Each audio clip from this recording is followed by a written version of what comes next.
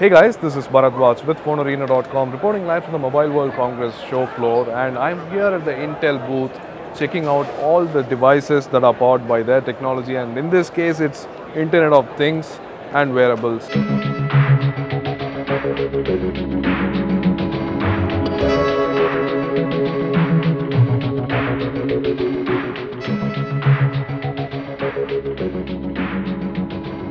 So this is the Basis Peak smartwatch. Basis is a company that Intel recently acquired for their wearable technology.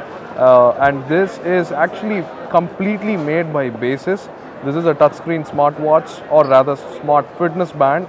It can do smartwatch stuff like messages, notifications and so on, but it's basically a fitness band with a heart rate sensor and very accurate sleep tracking.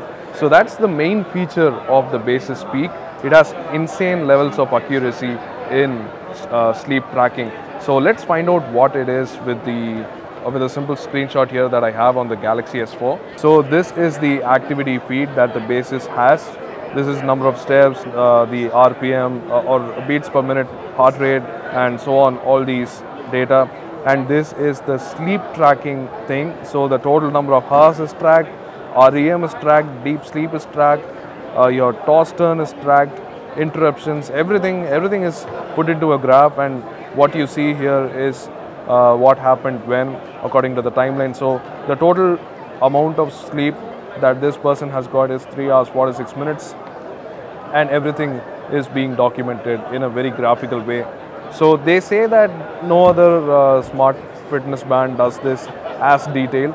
So that's the uh, one key advantage of using the Basis Peak. Now moving on to the other wearable, that is the SMS headphones with the optical sensor that can read your heart rate. So this is basically for people who run and want their data tracked while running and listening to music, not wearing to, not having to wear a fitness band or any other device that tracks it. So that's what I'm having here. Let's have a closer look at this.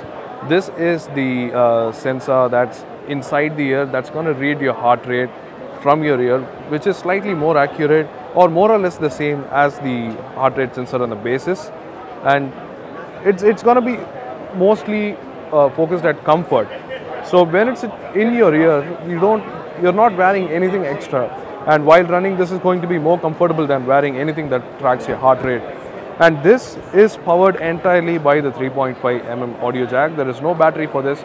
It takes the power from the phone and uh, does its work. So it also provides data directly to the phone uh, through the 3.5 mm audio jack. And what Intel has done is put a microprocessor in this. You can have it on or off. This is currently on and this is uh, SMS Audio's headset with the heart rate sensor powered by Intel's technology. This you might remember as Intel's own Raspberry Pi like platform. This is a very small chipset and it's uh, powered by an Intel microprocessor. And this is enabling a lot of Internet of Things uh, devices, which is this helmet here. So this is uh, a connected helmet which can connect with the bike over Wi-Fi or Bluetooth. The bike also, which is a BMW Tourer that we have behind the helmet, that is also powered by the Edison.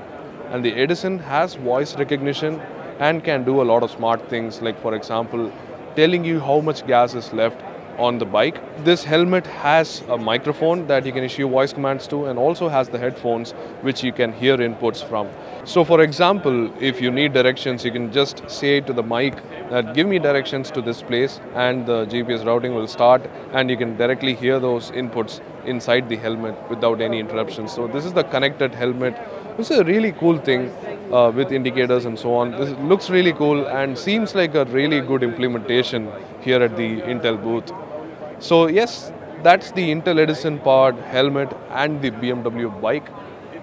And that's it for the video. Do hit the like button if you like this and subscribe to our channel for more videos like these and do check out all our other MWC videos in our YouTube channel. Thanks for watching and let us know what you think in the comment section below.